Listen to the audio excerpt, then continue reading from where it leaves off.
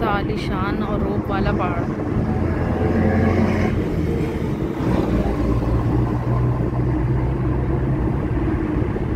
इसी के बारे में फरमाया था ना आप सल्लल्लाहु अलैहि वसल्लम पहाड़ को। मुझे बहुत से मोहब्बत है और बहुत को मुझसे।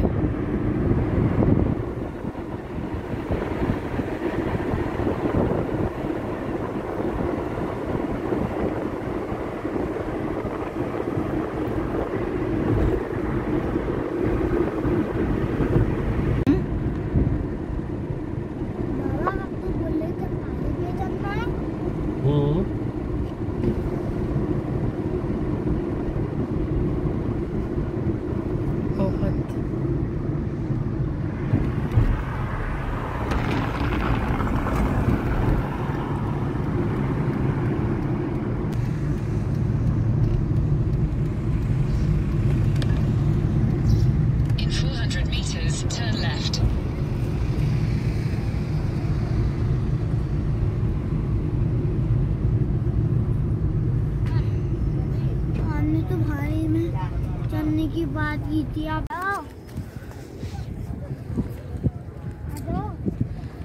यह है वो पहाड़ जिस पे आप सल्लल्लाहु अलैहि वसल्लम ने तीर अंदाजों को तैनात किया था ओहद की जंग में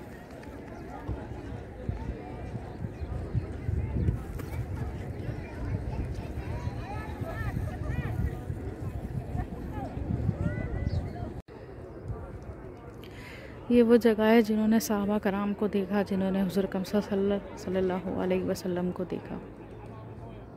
कितना खुश नसीब है ये। अल्लाह ताला हम गुनहगार को भी तौफीक दे कि हम क़यामत में आपके ज़ेर साया हों।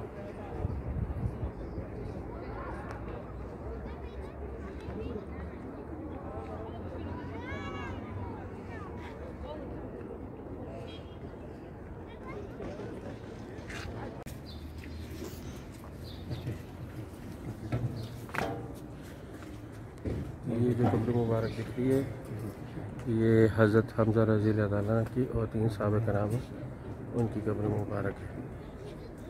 बाकी इसमें और भी सारे हैं। बाकी बहुत सारे साहब कराम हैं जिनकी कब्र मुबारक है। और आगे जो मुरबा दिख रहा है वो आगे वहाँ पे भी सत्तर साहबी और यहाँ पे भी।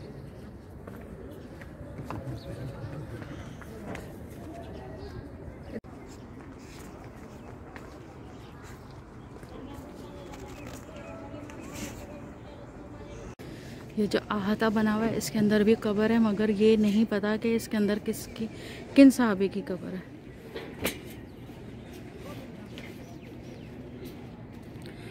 और सवाए ओहद के शहदाएँ इसके अंदर सारे।